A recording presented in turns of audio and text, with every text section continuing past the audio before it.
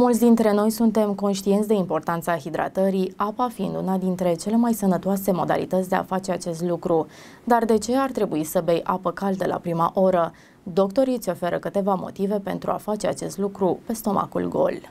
Băuturile calde populare, cum ar fi ceaiul și cafeaua, pot ajuta de asemenea la prevenirea deshidratării și aduc cu ele propriile beneficii pentru sănătate. Cu toate acestea, un expert în sănătate recomandă o băutură foarte accesibilă de consumat zilnic la prima ora dimineții, pentru multiple beneficii asupra corpului. Adresându-se celor peste 2 milioane de urmăritori ai săi, doctorul Cunal a recomandat un pahar cu apă caldă sau fierbinte dacă tolerați băuturile fierbinți în dieta zilnică. Medicul spune că alegerea de a consuma apă caldă pe stomacul gol va avea cele mai multe beneficii. Există trei motive pentru care ar trebui să începi să bei apă caldă pe stomacul gol, a spus el. Acestea sunt ajută digestia, îmbunătățește metabolismul, îmbunătățește circulația și fluxul sanguin. Digestia ameliorată. Faptul că apa caldă ar putea ameliora problemele digestive se știe încă din 2016, când o cercetare la care face referire Dr. Sud a fost publicată într-o revistă. Cercetătorii au descoperit că apa potabilă la o temperatură de 37 de grade a avut un impact favorabil asupra mișcărilor intestinale și a redus flatulența. Metabolismul tău este procesul de schimbare a alimentelor în energie pentru a alimenta funcțiile corpului. Prin urmare, viteza metabolismului are impact asupra cât de ușor te îngrași sau slăbești. În cele din urmă va îmbunătăți circulația și fluxul sanguin. Acest lucru se datorează faptului că abia apă caldă îți va dilata vasele de sânge. Cu toate acestea, el a avertizat că apa pe care o bei nu trebuie să fie prea fierbinte astfel încât să nu producă arsuri în gură sau pe esofag, relatează click.ro.